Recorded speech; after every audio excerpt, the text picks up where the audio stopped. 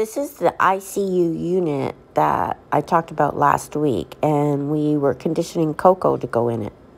Well, it was Cookie's turn. Many of you asked what kind it is. It's a Curadle, C U R A D L E 90.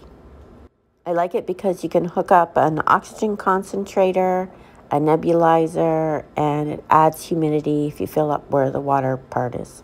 It was recommended for Cookie to get used to it. Because he's had a stroke before, we need to have something like this on hand in case he has another stroke. We can just plop him in there and uh, there'll be oxygen and all that in there for him. Cookie is not hand tame, and that's why I'm using the carrier. He will always step up on the carrier. You can tell that he doesn't want to go in there, but I eventually get him to perch a bit. But he's not petrified. He just would rather not. A scared bird will like flee and fly, but he just would doesn't want to go in.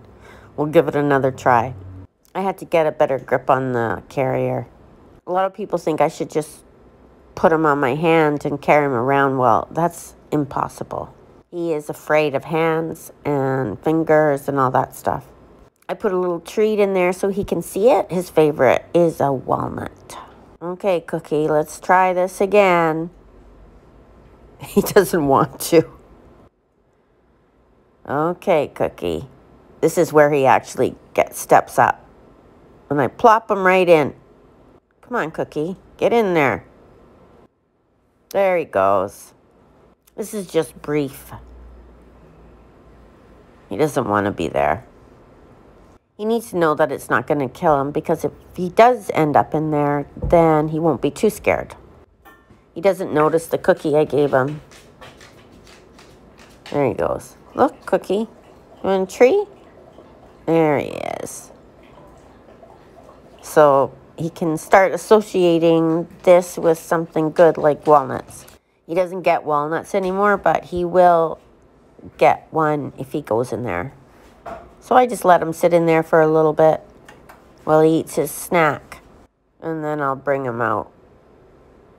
There we go, Cookie. Good job. And then next time I will just let him stay in there for a little bit longer.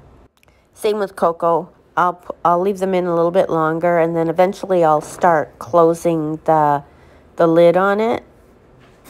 Then they'll get used to it with the lid closed. It rolls down.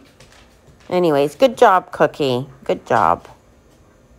This is the life of Boba Bobo. This is the life of Boba Bobo.